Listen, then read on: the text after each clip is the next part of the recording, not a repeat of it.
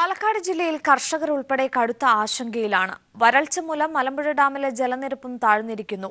മഴ ലഭിക്കാത്ത ഈ അവസ്ഥയ്ക്ക് മാറ്റമുണ്ടായില്ലെങ്കിൽ പാലക്കാട്ടെ ജലലഭ്യതയെ അത് സാരമായി ബാധിക്കും.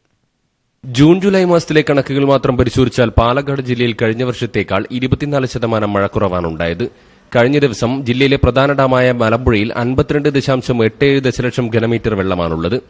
ഇരുന്നൂറ്റി ഇരുപത്തിയാറ് ദശലക്ഷം ഘനമീറ്ററാണ് അണക്കെട്ടിന്റെ സംഭരണശേഷി.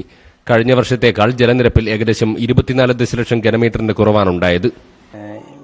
കഴിഞ്ഞ വർഷത്തെ അപേക്ഷിച്ച് വെള്ളം ഇപ്പോൾ ഇരുപത് സെന്റിമീറ്ററോളം കുറവാണ്. ഈ ഈ ദിവസത്തേക്ക് ഈ ദിവസത്തെ ഇരുപത് സെന്റിമീറ്ററോളം വെള്ളം കഴിഞ്ഞ വർഷത്തെ അപേക്ഷിച്ച് കുറവാണ്.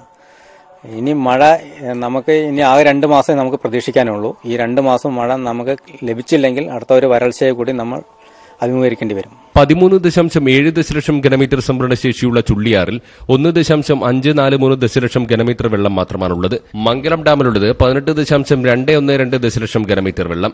മംഗലം ഡാമിൽ മാത്രമാണ് വെള്ളത്തിന്റെ അളവിൽ കാര്യമായ കുറവ് രേഖപ്പെടുത്താത്തത്.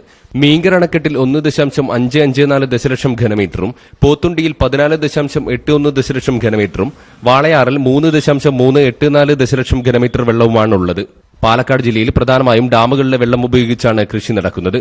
മഴക്കുറവായതിനാൽ ഒന്നാം വിള തന്നെ കടുത്ത പ്രതിസന്ധിയിലായിരിക്കുകയാണ്.